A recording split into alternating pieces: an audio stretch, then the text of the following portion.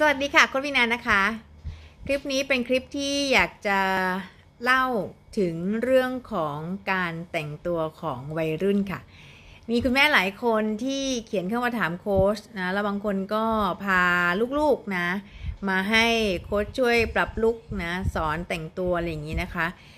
โค้ชก็เลยอยากจะจัดคลาสคลาสหนึ่งจะเป็นคลาสที่ช่วยวัยรุ่นแต่งตัวนะ ช่วยน้องๆแต่งตัว วันนี้อยากจะมาให้เทคนิคในเรื่องของการแต่งตัววัยรุ่นนะให้เราแต่งตัวได้ก็ยังเป็นวัยรุ่นนะแต่ดูดีขึ้นทำให้เรามั่นใจมากขึ้น อย่างแรกเลยที่อยากจะให้น้องๆนนะ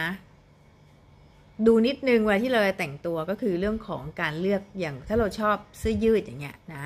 น้องๆก็จริงๆ ก็ส่วนใหญ่ก็วัยรุ่นก็ใส่เสื้อยืดกันเนาะนะคะทีนี้เวลาที่เราจะเลือกเสื้อยืดอะค่ะ ระหว่างเนื้อผ้าที่นิ่มนะกับเนื้อผ้าที่เป็นโครงนะเราใส่เสื้อยืดเหมือนกัน แต่เราจะดูไม่เหมือนกัน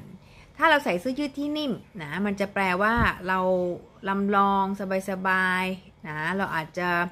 อะไรเดียลุกแบบไปเรื่อยๆของเราตามตามสบายของเรา ในมุมของผ้านิ่มๆเนี่ยนะคะ ถ้าเกิดน้องๆคนไหนที่แบบตัวอวบหน่อยเวลาที่เราใส่ผ้านิ่มๆมันก็จะแนบตัวมันทำให้เราเลยดูเหมือนตัวอวบยิ่งขึ้นนะคะ อีกอันหนึ่งถ้าเนื้อผ้าเป็นโครงแข็งนะมันจะช่วยทำให้เราดูเป็นวัยรุ่นนี่แหละนะแต่ดูดีขึ้นดูกริบมากขึ้น แล้วถ้าเกิดว่า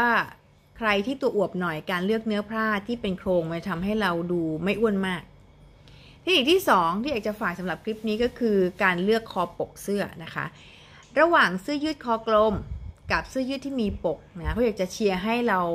เถ้าเลือกใส่ได้นะ ราคามันก็ไม่ต่างกันหรอก ให้ลองใส่นะเลือกคอเสื้อที่มีปก เวลาที่เราจะไปไหนระหว่างเด็กวัยรุ่นนะที่ใส่เสื้อยืดคอกลมจะดูเป็นเด็ก ดูเป็นเด็กดูอาจจะดูแบบ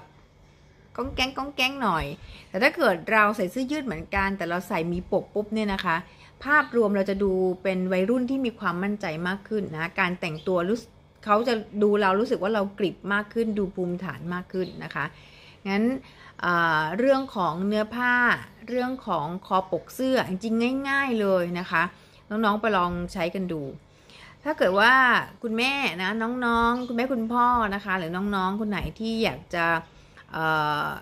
ศึกษาให้มากขึ้นนะคะเขาจะเปิดคลาสเป็นคลาสสอนแต่งตัววัยรุ่นนะคะ ก็มีทั้งรับเดี่ยวแล้วก็สอนเป็นกลุ่ม ถ้าเกิดว่าใครที่มีคำถาม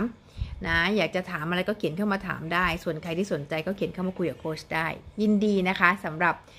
การแต่งตัวของวัยรุ่นไว้ทุกคนแต่งตัวได้สวยๆหล่อๆกันค่ะ